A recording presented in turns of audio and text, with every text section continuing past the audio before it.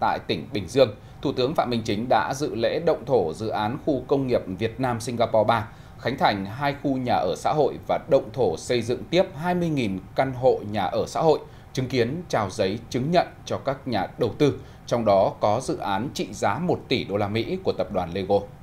Được triển khai tại một địa phương năng động, động lực phát triển kinh tế xã hội quan trọng bậc nhất ở Đông Nam Bộ – đây là những dự án có ý nghĩa lớn trong bối cảnh Việt Nam đang nỗ lực phục hồi nhanh và phát triển bền vững kinh tế xã hội sau khi dịch bệnh COVID-19 cơ bản được kiểm soát.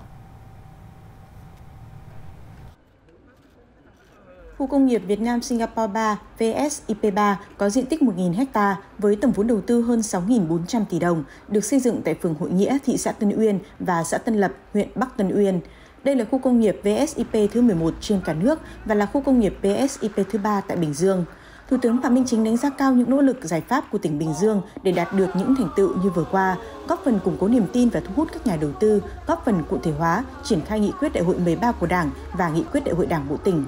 Thủ tướng đề nghị tỉnh Bình Dương tiếp tục tổng kết, phân tích, đánh giá kỹ các bài học kinh nghiệm, phát huy những bài học tốt, điều chỉnh kịp thời những vấn đề còn tồn tại, cải thiện môi trường đầu tư kinh doanh phù hợp với tình hình mới, tạo thuận lợi nhất cho nhà đầu tư.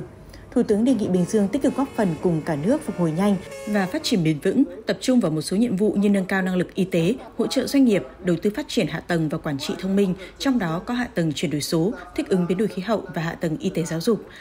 Đây cũng là những hướng đi đúng mà Bình Dương đang triển khai. Thủ tướng đề nghị tỉnh rút kinh nghiệm từ việc triển khai các dự án VSIP trước đây, xây dựng VSIP 3 thành biểu tượng quan hệ hai nước về mặt kinh tế nhưng mang đậm dấu ấn Singapore, ngày càng xanh, sạch, bền vững, thông minh hơn, hiệu quả, thực chất hơn, mang lại lợi ích cho Bình Dương, nhà đầu tư và người dân. Đặc biệt, phải coi trọng việc bảo đảm đời sống người dân đã nhường mặt bằng cho dự án theo hướng đời sống người dân tại nơi ở mới phải tốt hơn nơi ở cũ, năm sau cao hơn năm trước. Thủ tướng Chính phủ Việt Nam đã tạo mọi điều kiện thuận lợi nhất có thể, giữ vững ổn định chính trị và môi trường pháp lý, luôn đồng hành với các nhà đầu tư trên cơ sở luật pháp Việt Nam, thông lệ quốc tế và các cam kết quốc tế của Việt Nam theo tinh thần lợi ích hài hòa, rủi ro chia sẻ.